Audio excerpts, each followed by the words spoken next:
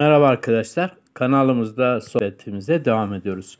Sohbetimiz Bulugul Meram adlı İbn Hacer Eskalani Hazretleri'nin kendisi hadis alimi ve hafızıdır. Onun eseri Bulugul Meram Peygamberimiz sallallahu aleyhi ve sellemin hüküm belirten yani emir ve yasaklarını belirten hadislerinden oluşmuş bir eser olup e, tamamen onun seçtiği e, konularına göre başlıklarını seçtiği ve kaynakları temel İslami eserlerden alınan bir kitaptır.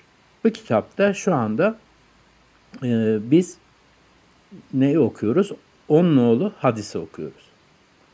Bu hadis-i şerif e, An İbni Abbas radıyallahu anhuma yani Ab Abdullah İbni Abbas radıyallahu anhuma diyoruz. Neden radıyallahu anhuma diyoruz? Babası da sahabe olduğu zaman Allah hem ondan Abdullah İbni Abbas'tan hem de babası Abbas Hazretleri'nin ikisinden de Allah razı olsun dediğimiz zaman anhuma radıyallahu anhuma diyoruz.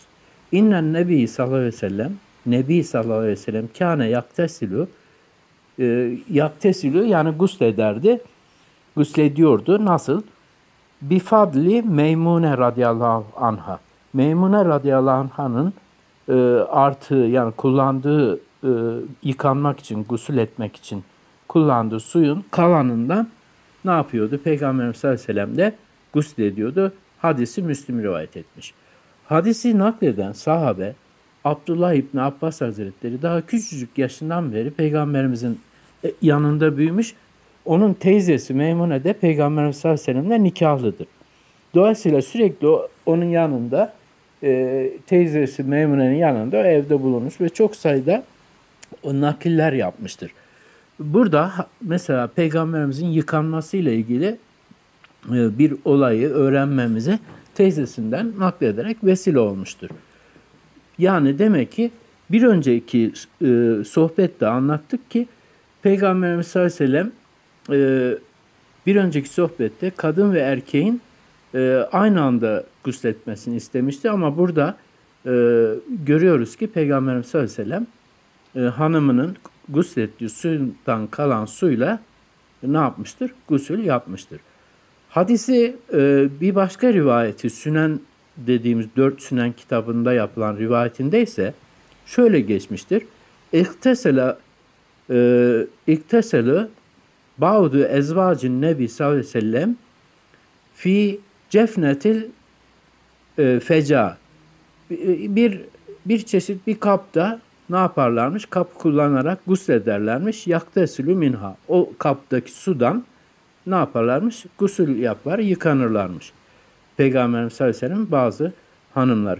Fekalet o hanımı demiş ki inni küntü e, cunuben. Hani e, kendisi cunup olarak yıkandığını peygamberimize ihtar etmiş. Yani e, bir hani sakıncası olur, yıkanmasına mani olur mu diye fegale peygamberimiz de hanımına demiş ki innel ma'e muhakkak ki suyu la yecnub.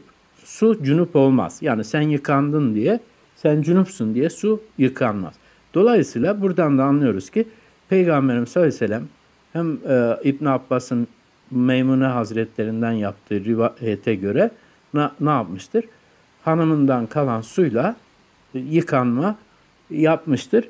E, su, insan cunup diye onun e, artı ne olmaz? Pis olmaz. Ama eline bulaşmış bir necaset veya bir şey sebebiyle suya e, bulaştırmaması e, durumunda. İbn Abbas radıyallahu anh'a kimdir? İbn Abbas radıyallahu anh'a Müslümanlar için sahabenin dört ibadile denilen dört Abdullah'ı vardır ki hepsi ayrı bir ilimde, irfanda e, büyük bir şeydir. Abdullah İbn Abbas da hicretten 3 sene önce doğmuş. E, Efendimizin demin söylemiştik teyzesi hanım olduğu için sürekli onun evinde bulunmuş, büyümüş ve Peygamberimiz sallallahu aleyhi ve birçok e, övgüsüne ulaşmış.